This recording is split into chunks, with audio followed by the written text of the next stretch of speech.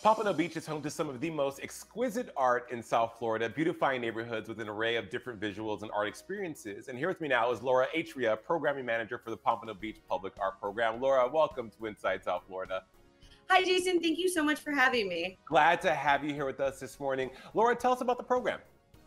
Uh, so, the city adopted a 10 year public art master plan in 2015 uh, shortly after I was hired to implement that plan. Um, I have been with the city for about five years, and I'm really proud to be a part of the evolution of public art in Pompano Beach. Uh, through the hard work and commitment from the mayor, the commissioners, the public art committee, and multiple city departments like public works, facilities, and cultural affairs, Pompano's really created a diverse collection of public art. Laura, you mentioned evolution of art in Pompano Beach. What are the visitors and the residents of the community experiencing when it comes to art and the art installations?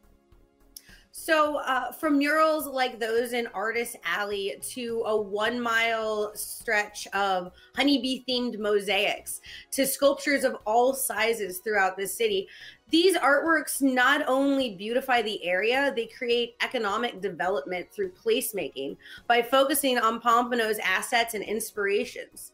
Through the creation of these public spaces, uh, we promote people's overall well being.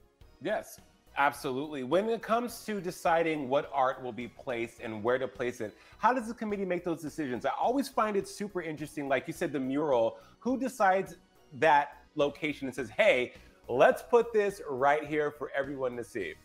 As I mentioned, uh, the city's 10 year public art master plan, the Public Art Committee put a lot of thought and effort into creating that.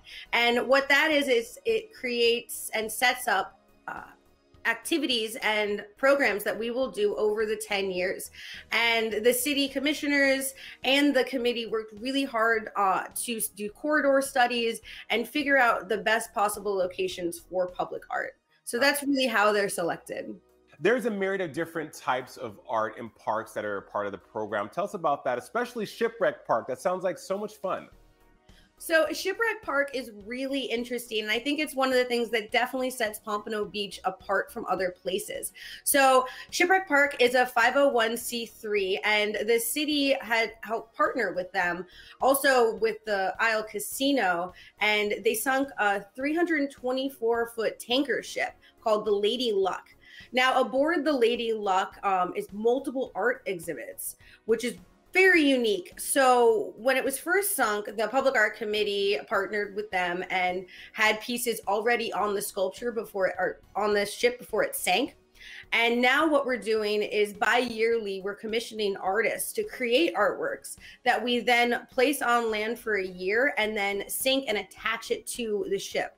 So it 2020 in December, we sank um, a piece called Pirate's Treasure Chest by Donald Gialanella. He's a Florida artist as well. And that was a really fun and interesting piece to participate in. We worked with Shipwreck Park and South Florida Diving, who did just a great job.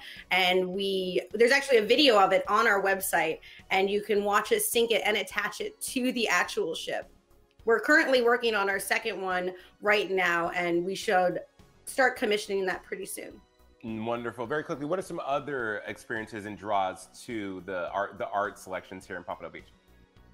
Uh, well, we just installed a piece called Current by uh, California artist Michael Szabo, and it is 16 feet tall. It's gorgeous. It's in front of the Pompano Beach Cultural Center. Uh, it's made out of stainless steel, and then it's hand painted patina and bronze on the outside. Uh, to me, it reflects an infinity symbol that's kind of pulled apart, mm. that is very similar to the Cultural Center building itself. I think it's wonderful. Where can they go to find out more on all the art that is being featured in Pompano Beach? You can go to our website at pbpublicart.com. And I also encourage you to sign up for our artist network there uh, so that you can get updates on calls to artists and just activities and programs that we're doing.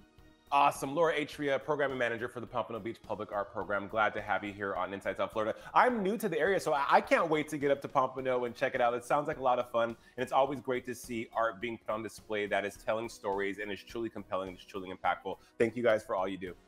Thank you so much.